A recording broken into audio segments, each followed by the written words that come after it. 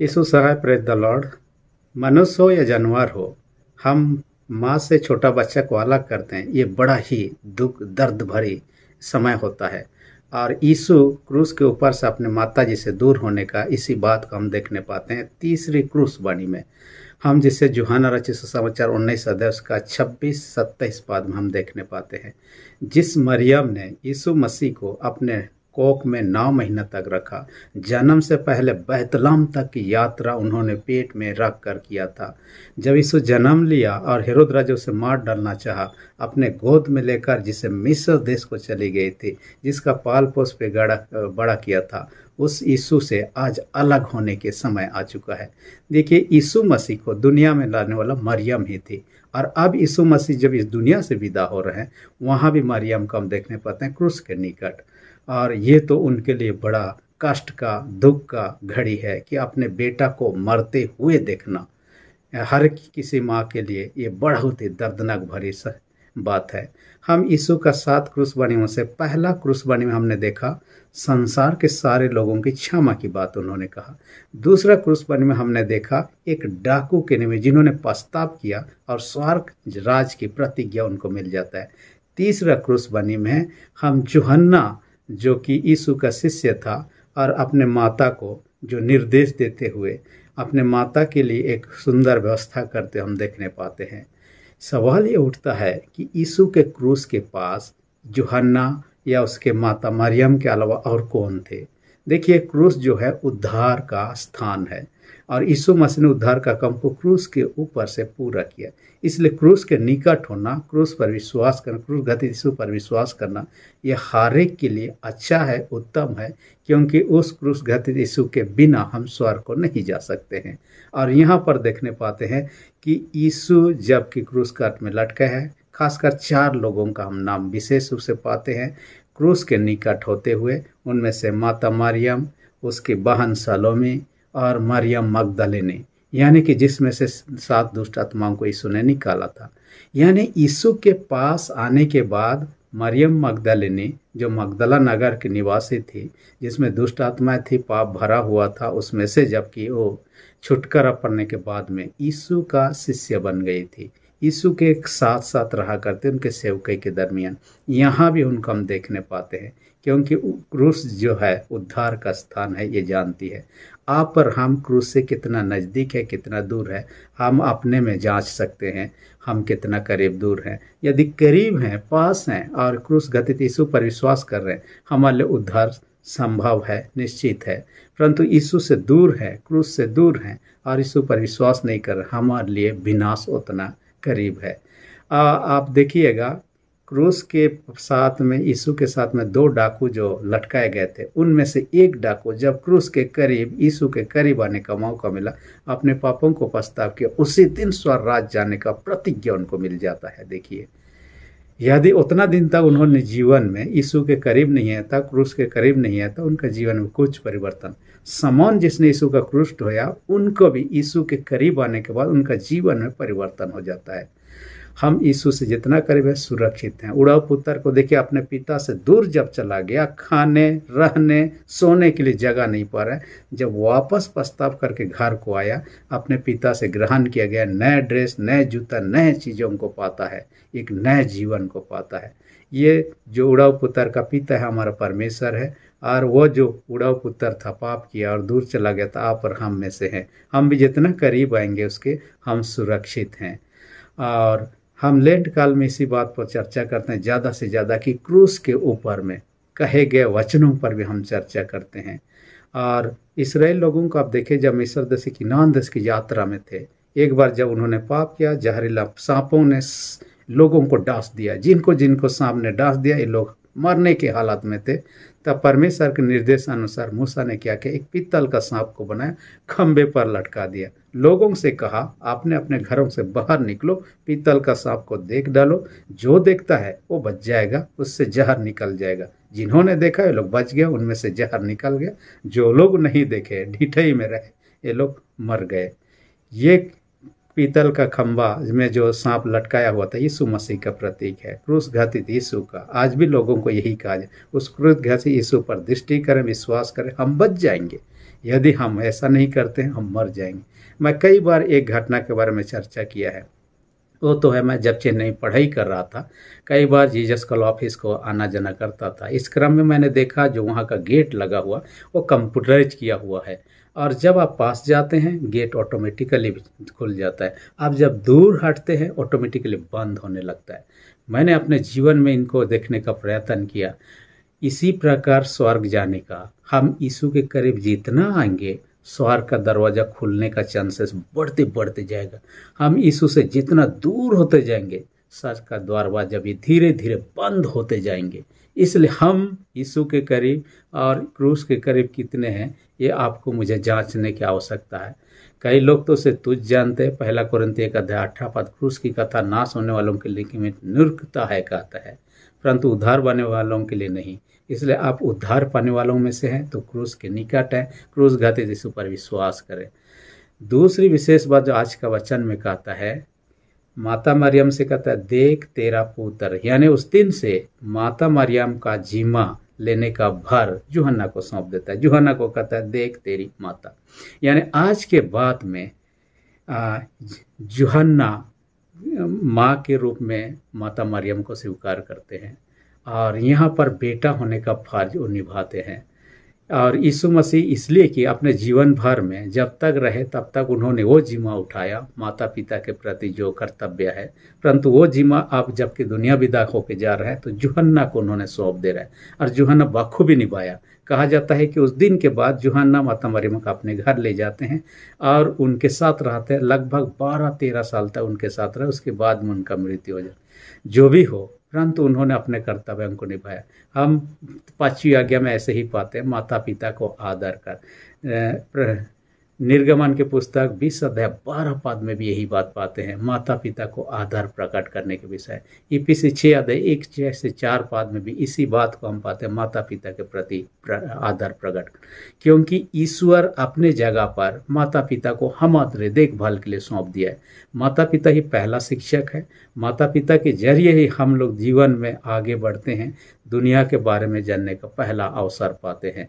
इसके बाद तो दुनिया में हम आगे बढ़ते हैं। परंतु तो एक बात है माता पिता के प्रति बेटा बेटियों का कर्तव्य है। जो ऐसा नहीं करता है, उनसे तो परमेश्वर लिखा लेगा।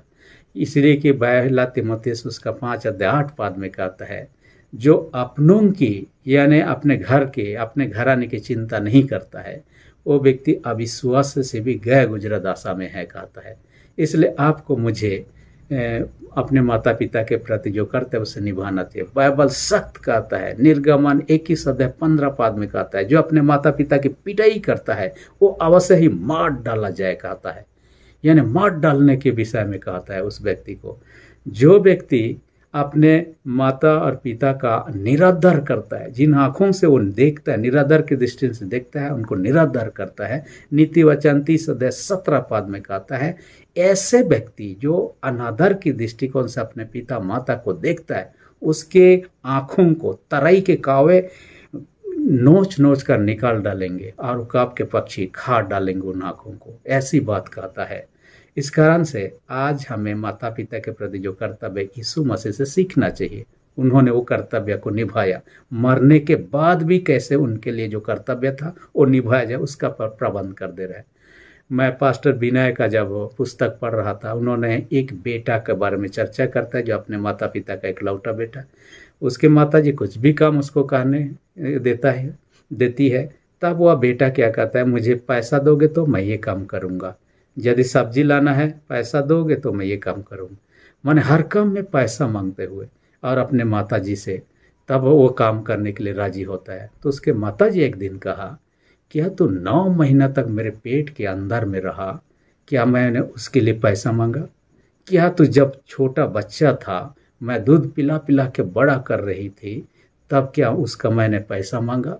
जब तो रात के समय में सो जाता या तो बिस्तर को गीला कर देता और जग जाता, मैं उस समय भी मैं उठ के आपका सेवा शुद्धि किया, देखभाल किया क्या मैं, किया मैं, उसका पैसा लिया। तब ये जवान बेटे को थोड़ा सा शर्मिंदगी महसूस हुआ। उस दिन के बाद में दोबारा माँ से इस प्रकार पैसा मांग के काम करने का जो चीज़ है, उन चीज़ों को उन्होंने बंद कर दिया। आपने एक घटना के बारे में कभी सुना होगा। मैं अपने जीवन के घटना को कई बार चर्चा किया हूँ। जब मैं प्रैक्टिकल के लिए एक जगह गया होता, उड़ीसा के सुंदरगढ़। वह एक परिवार से मिला जो ड्राइवर परिवार था। उनके दो तीन बच्चे भी हैं। उनके माता पिता नहीं थे। परंतु जब मैं वहाँ गया, मुझे उस घर में माता पिता दिखाई दिए। मैंने पूछा, ये आपके माता पिता हैं? उन्होंने कहा हाँ। लेकिन उस प्रकार का माता पिता नहीं, जिसे कि जन्म दिया हो। परंतु अब माता पिता हमने ग्रहण कर लिया। ये पड़ोस के गाँव के है। ये लोग मसीह को नहीं जानते, ना ही मसीह हुए हैं। परंतु गाँव के लोग उनको बहुत ही अपमान करते और इनको देखभाल नहीं करते। जब ये बीमार हो जाते, खाने के लिए तरसते, तब एक दिन हमारे पास आए।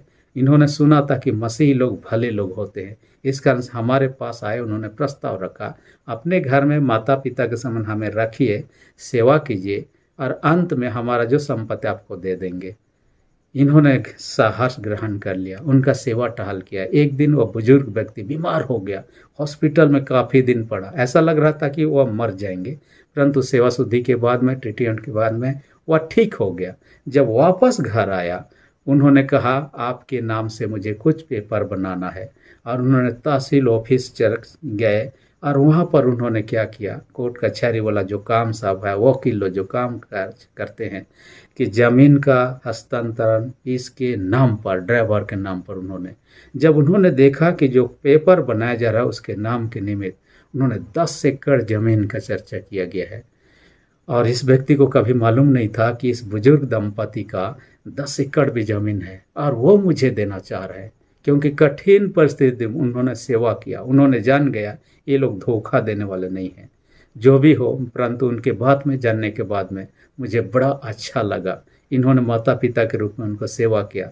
उसका प्रतिफल स्वरूप जो कुछ पा रहे हैं, जो भी हो, परंतु स्वर्ग में इसका प्रतिफल है। इसलिए हर एक कोई, हम इस घटना से, तीसरा क्रूस वाणी से, अपने माता पिता के प्रति जो कर्तव्य है, उनका देखभाल का जीमा है, उठाने के हमेशा तत्पर रहना चाहिए।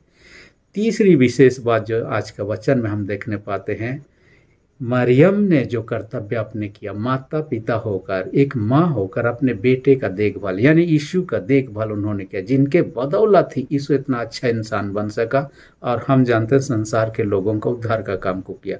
अच्छी माँ नहीं होती, तब ईश्वर भी उसे नहीं चुनता। ईश्वर चुनने का पीछे वो अच्छी होने के कारण से ही, और धर्मी होने के कारण से। हर एक माता पिता को मरियम से सीखना चाहिए, अपने बच्चों का देखभाल कैसे करना चाहिए। जैसे उन्होंने यीशु का देखभाल किया था। मैं अपने जीवन के बातों को जब स्मरण करता हूँ, मेरा जो प्रभु के प्रति समर्पित होना या प्रभु के सेवकई में आना, ये एक व्यक्ति को सबसे ज़्यादा श्रेय जाता है, वो मेरी माँ। मेरी माँ बचपन से मुझे धार्मिक बातों की विषय शिक्षा देते, संडे स्कूल जाते और हम कम से कम जो भी गलत करते, कई शिक्षा को देते। और उनके कारण से ही मैं इतने दूर तक आ गया पाया। आज आपके सामने खड़े होकर बोलने, वचन के द्वारा शिक्षा देने के लायक हूँ, उसमें मेरी माँ का योगदान भी है। इसलिए बचपन में मैं अपने माँ से बहुत प्यार करता था।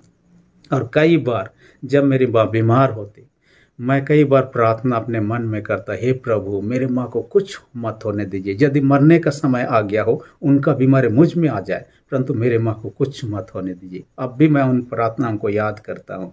अब इस दुनिया में मेरी माँ नहीं है। परंतु एक बात उन्होंने अपने कर्तव्यों को निभाया, जिनके कारण से ही मैं यहाँ खड़े होकर आपको इस प्रकार की शिक्षा की बातों को बोलने सक रहा हूँ। हम कोई पौधा लगाते हैं, हम उसका यदि देखभाल नहीं करते हैं, वो सही रूप से बढ़ेगा नहीं। वो ऐसे तो मर जाएगा या जानवर खा देंगे। वैसा ही बेटा बेटी जन्म देकर हम छोड़ देंगे तो भटक सकते हैं। उनका आत्मिक जैसे विकास होना चाहिए, वैसा विकास नहीं कर पाएँगे। इसलिए माता पिता इसलिए ठहराए गए हैं। परमेश्वर ने अपने जगह पर माता पिता को बच्चों का देखभाल करने का जिम्मा सौंप दिया है। क्योंकि भजन संहिता एक सौ तीन में कहता है, गर्भ का फल यह हुआ की ओर से प्रतिफल है। हमारे जीवन में जो बेटा बेटी आते हैं, ये परमेश्वर का दिया हुआ है। परमेश्वर दिया है तो उसका हिसाब भी लेगा। हमने उसका परवरिश कैसे किया? बाइबल में एक व्यक्ति के जीवन से हम अच्छी रीति से समझ सकते एली जाजक। वो धर्मी व्यक्ति था, जाजक का काम करता था। लेकिन उसके दोनों बेटे, जिनका नाम होपनी और पिन्हास, बहुत बदमाश थे। और उन्होंने मंदिर में जो दान चढ़ाया जाता था, उसमें से चुरा लेते थे। स्त्रियों के साथ व्यविचार कर लेते थे। जो आते थे न्याय के लिए, उनसे घुस लेकर न्याय को बिगाड़ने में लगे हुए थे। परमेश्वर ने एली को कई बार चिताया, लेकिन वो नहीं चिता। इसलिए परमेश्वर ने एली को श्राप दिया, तुम्हारे घर में जितने पुरुष है, एक ही दिन में मर जाओगे। देखिए, उनके जीवन में श्राप आने का यही कारण था। बेटा जो दो थे, उनको नहीं समझाया। और ईश्वर का श्राप एक दिन आया। एली के दोनों बेटे लड़ाई के लिए चले गए, लड़ाई में मारे गए। एक व्यक्ति दौड़ दौड़ के आया। एली को बताया, हम हर लड़ाई में हार गए, आपके दोनों बेटे भी मारे गए। जैसे उन्होंने सुना, चेयर में बैठा था, नीचे लुढ़क के गिर गया और वो भी वहीं पर मर गया। देखिए, श्राप एक ही दिन में उसके परिवार में आया, सारे पुरुष लोग उसके घर में मर मिटे। एली का जजा कि यही था कि गलती वही था कि उन्होंने अपने बेटों को सही रास्ते पर अगुवाई नहीं किया, उनका सही परिवर्तन नहीं किया। आज आपके मेरे जीवन में इस प्रकार के श्राप ना आए। इसलिए कई बार मैंने चर्चा किया दस आज्ञा के पुस्तक है जिसमें दस आज्ञाओं को समझाने के क्रम में पांचवी आज्ञा में एक घटना जो इंग्लैंड देश का है, बताता है, एक जवान को फांसी हो जाता है। अंत में माँ से मिलने का वो इच्छा ज़ाहिर करता है। लोगों ने सोचा, माँ से मिलना अच्छी बात है, माँ को बुलाया जाता है, उसके बाद उससे बातें करने के क्रम उनका कान को काट डालता है, खून निकालने लगता है। इतना क्रूर व्यक्ति समझा जाता है, उससे पूछता है कि, आप ऐसा क्यों किया? उन्होंने कहा, मेरे माँ, जो मैं ये गलती किया, यानी गलती का सजा पा रहा हूँ, इसमें आधे हकदार मेरी माँ भी है। जब मैं छोटा था, चोरी करने गया था, मेरी माँ उससे बहुत खुश होती थी। अब जब छोटा चोरी में खुश हो जाती, मेरे को लगा कि मैं और ज़्यादा चोरी करूँ, और खुश हो जाएगी। और उस दिन से मैं चोरी करना शुरू किया, अपराध में आगे बढ़ते गया और अपराधी बनकर जेल लाया और फांसी की सजा पा गया। पहले दिन जिस दिन मैंने चोरी किया, मैं छोटा था, जानता नहीं था। मेरी माँ जानती थी। उस दिन यदि एक थप्पड़ मार देता, गाली दे रहा था डांट दे रहा था उस दिन समझा दिया होता, हो सकता उस दिन के बाद मैं चोरी करना छोड़ दिया होता। लेकिन माँ ने अपने कर्तव्य को नहीं निभाया, जिनके कारण से मैं फांसी पर चढ़ने वाला हूँ। इसलिए मेरे फांसी पर चढ़ने मेरे माँ का आधा हिस्सा है। यानी कि दूसरे लोग, जो लोग अपने बेटा बेटी के प्रति इस प्रकार लापरवाही कर रहे हैं, कम से कम लोग देखने के द्वारा अपने बेटा के प्रति बेटा बेटी के प्रति लापरवाही ना करें, उन्होंने कहा। इस कारण से नीति वचन बाईस अध्याय छः पद में कहते हैं, लड़कों को उसी मार्ग की शिक्षा दे, जिसमें उसे चलना चाहिए, ताकि वह बुढ़ापे तक उससे नहीं हटेगा। बचपन से उनको सही डायरेक्शन में, सही दिशा में अगुवाई करने की बात है। इसलिए आइए एक बेटा होकर माता पिता के प्रति जो कर्तव्य है, या माता पिता होकर बेटा बेटियों के प्रति जो कर्तव्य है, उसमें हम खरा निकले।